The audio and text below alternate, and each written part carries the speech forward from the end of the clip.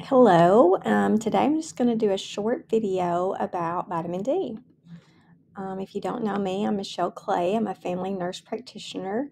I help patients lose weight and optimize their health and well being. So, today I just want to briefly review vitamin D and why it's so important for your health. So, vitamin D, you may have heard referred to as the sunshine vitamin. And the reason for that is because our it's actually created in our skin with exposure to sun. And it's really more of a pre hormone uh, than what we normally consider a vitamin. Um, because when our bodies are exposed to sunshine and our skin creates vitamin D, then our body actually converts that into its active form, which is called calcitriol. And calcitriol is a hormone that helps our bodies to maintain our calcium levels in the body, along with several other important functions. So, as far as lab values go, um, to actually know your level, you would need a blood test. And typically, this is covered by your insurance. So, if you've not had one of those done, you could ask your provider to check that uh, the next time you go in. So, you can see here the ranges vary depending on which lab you look at, but this is just kind of a generalized. Um, you may see a little bit different numbers on your particular lab, but this is generally what you'll see.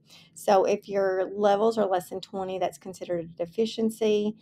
Um, 21 to 29 is considered insufficient. Normal, you'll see I have quotation marks there, is 30 or above. Um, and I say normal because, yes, that can be normal, but optimal and normal are not the, the same thing. So, ideally, for optimal health and well being, I recommend patients uh, get to around 60 or a little bit above. Um, and then I've got a toxic level there of over 150. So you can see there's a big range you can go from optimal to toxic. And it's really difficult to be toxic just because if you have more of it than you need, your body simply just eliminates it in your urine typically. So it's really hard to, to get too much. Now, um, a lot of us are deficient, um, but there are some people that are more at risk for deficiency. So, um, people who are obese, which is a BMI of 30 or greater, are more at risk. It's actually linked with obesity. So, for my weight loss patients, I always um, encourage them to take a vitamin D supplement.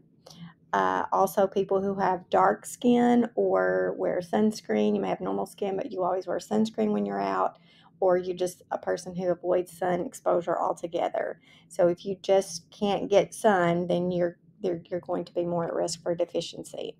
And then the elderly. The older we get, things just don't work as good, and so that goes along with the vitamin D as well. As far as estimates go as to how many people are deficient, I've seen ranges from 25% of all Americans being deficient all the way up to 85%. And I don't know for sure the right number. Um, there's a lot of variables in that. But I do know from personal experience of all the patients I've ever looked at labs and checked their vitamin D, I've only had one patient that had a normal level, not optimal, but normal level that didn't take a supplement. So it is very common and very prevalent to have um, at least a deficiency. So, some of the symptoms that uh, you can have with a vitamin D deficiency are, um, you know, pretty common symptoms that people may have that are kind of generalized and hard to pinpoint on any one particular thing. But they do include fatigue, poor sleep, uh, bone pain and actually bone loss. Remember, I said it's connected with our calcium levels. So, people with osteopenia or osteoporosis, this is a very important vitamin for them. Um, also, postmenopausal women, we, you know, once you get to that age, you're not as good at absorbing calcium, and so it's important for that age group as well. Um, it can be a, a cause of hair loss it's um, also vitamin D is necessary for the production of insulin. So if you're deficient, then you could have um, inc- increased insulin resistance, and that may be what the association is with obesity because that that's often linked together. Um, then it's very important for your immune system. So if you're someone who frequently has colds or you just can't shake things that normally you feel like you should be able to shake pretty quick, this could be a contributing factor. I know personally, um, once uh, the pandemic started, I started taking vitamin D religiously. I'd taken it off and on before, but really religiously then. And since the pandemic started, um, only because I've had to pay attention to it, I've not even had a cold. Now, I've had COVID twice, but I've not had a cold, knock on wood. And I really feel like it's got to be linked with, you know, having a really optimal vitamin D level. Now, other sources of vitamin D besides sunshine are fatty fish, uh, mushrooms, some fortified foods such as milk is usually fortified with vitamin D. Some cereals are also oatmeal. Eggs, in particular, the yolks are high in vitamin D.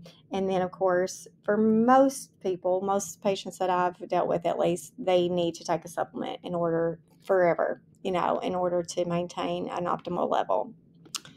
Um, a lot of times I see patients who maybe have been on vitamin D already, their level was deficient, they've been on something, and their levels still aren't that great. And a lot of times I see that they've just been given or prescribed just vitamin D.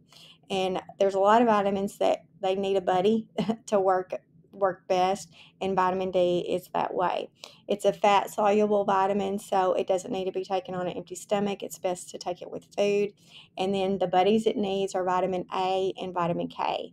So it's best if you're going to take a vitamin D that you have one that's a combination that includes A, D, and K, and that you take it with some food. Even something with a little bit of fat would be ideal.